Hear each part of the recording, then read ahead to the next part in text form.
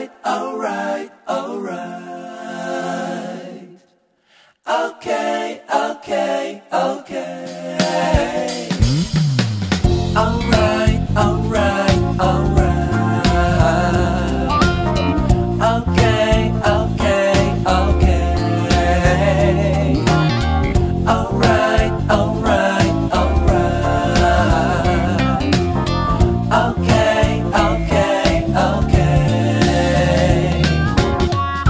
สวัส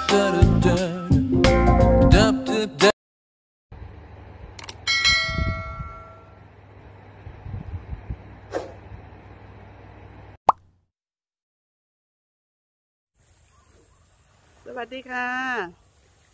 สวัสดีค่ะ ยินดีต้อนรับสู่ช่องป้าอ้อยนที่ทองนะคะป้าอ้อยจะพามาอัปเดตสถานการณ์น้ำนะคะเพื่อนๆ วันนี้วันที่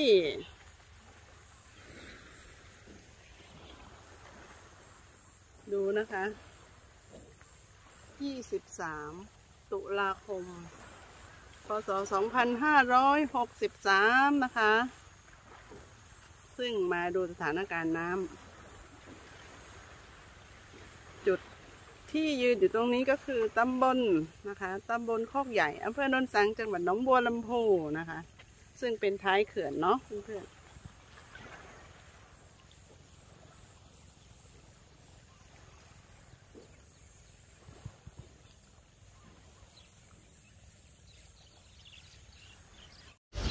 บรรยากาศตอนเช้าเช้าๆนะคะ เวลาในตอนนี้ก็ประมาณ6โมง25 นาทีนะคะ6โมง25 นาทีของวันที่ 23 ตุลาคม 2563 นะคะ วันนี้ป้าอ้อยตื่นแต่เช้านะคะ เพื่อมาดูบรรยากาศตะวันขึ้นนะดวงอาทิตย์นะคะ พระอาทิตย์ขึ้นตอนเช้า ซึ่งจะเป็นภูเขานะคะตรงนี้แล้วก็จะมีแม่น้ำนะคะ ทะเลน้ำจืดนะคะ มันจะได้ภาพบรรยากาศที่สวยไงป้าอ้อยก็ตื่นแต่เช้าเลยนะคะ เพื่อมาเก็บเอาบรรยากาศนะคะ นี่นะคะเรามาดูตามระดับน้ำกันนะคะว่าเมื่อสามวันที่แล้วที่ป้าอ้อยมานะคะ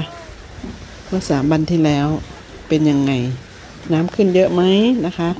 พอมาถึงนะอ่าคนหาปลาน่ะตรงที่เรือน่ะ รีบตะโกนบอกเลยนะคะว่าเออระดับน้ำเดิมที่ตอนป้าอ้อยมาคราวที่แล้วอยู่ตรงโน้นนะคะ ผมตอกหลัก เก็บบอกไว้ตอกหลักไว้ให้ป้าอ้อยเลยนะคะพูน่ารักมากเลย แล้วก็เออก็บอกว่าตอนนี้เราก็บอกเราคือเราก็มายืนอยู่ตรงถนนคอนกรีตเนาะเราก็จะไม่สามารถรู้ว่า ไอ้ตรงเรายืนเนี่ย น้ำมันขึ้นมาถึงตรงไหนแล้ว กี่เมตรนะคะเขารีบรายงานเลยนะคะ เราบอกว่าจริงเหรอ เราบอกว่าเอ้าก็นี่ไง ตอนที่มาคราวที่แล้ว ตรงนู้นตรงตรงนี้ เพราะอย่างนั้นอย่างนี้รีบรายงานเราสงสัยต้องหาของมาฝากแล้วล่ะข้ามหน้านะคะเออคนหาปลานะนาคนเนี้ยเขาบอก เขาบอกเอ่อจากถนนคอนกรีตคราวที่แล้วที่มาที่ป้าอ้อยมาน่ะเอ่อ ตรงถนนลูกรังกับคอนกรีตใช่ไหมคะ น้ำมันมาบรรจบพอดีใช่ไหมคะ ทีนี้เราก็จะเช็คตั้งแต่ว่าตรงถนนคอนกรีตตรงหัวหัวถนนนะคะ ขึ้นมาอีกเท่าไหร่เขาบอกว่าประมาณ 8 เมตรถึง 10 เมตรแล้วนะคะ8ถึง10 เมตรนี่แหละ ผมไม่ได้วัดไม่ได้เอาตลับเมตรวัด แต่ผมวัดด้วยสายตาเชื่อเชื่อเชื่อผมได้ครับว่านะนะคะเนี่ยเรือเขาก็เลย เขานั่งรอให้ให้ลมเบาลงนะคะ เพราะว่าขึ้นขึ้นแรงลมแรงนะคะ ตั้งแต่เช้ามืดแล้วเขาออกไม่ได้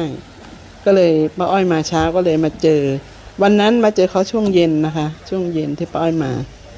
มาเจอเขาช่วงเย็น แต่ก็ได้พูดคุยกันนิดเดียวเขาไม่รู้เขามาทำอะไร แต่เขาไม่ได้หาปลาคงมาเก็บมันนะนะคะหนุนเรือออกไปแล้วเรือหาปลาออกไปแล้วหนึ่งลำ แล้วก็ลมซัดนะคะ ขยะกิ่งไม้นะคะ ขยะต่างๆนะคะ ลอยซัดเข้ามาหาฝั่ง ก็เลยดูว่าเป็นใบไม้แห้งขยะอะไรเยอะนะคะ เพราะว่าขึ้นขึ้นซัดมานะคะขึ้นแรงเนาะไอ้ตรงนี้จะเป็นแนวนะคะ แนวกั้นน้ำนะคะ เป็นก้อนหินนะก้อนหินที่เขามาก่อก่อนะคะ เป็นแนวกั้นน้ำไว้ แต่น้ำก็เข้าไปถึงข้างในแล้วนะคะ กระต๊อบก็ถูกยกขึ้นไปกองกองๆไว้ข้างบนเยอะกว่าคราวที่แล้วมากเลยนะนะคะ แนวกั้นน้ำเนี่ย ตอนป้าอ้อยมาเมื่อสามวันที่แล้ว แนวกั้นน้ำแนวกั้นที่สำหรับกันน้ำเนี่ย จะอยู่บนป้าอ้อยจะยืนอยู่ริมหัวถนนที่วัดสุดน่ะ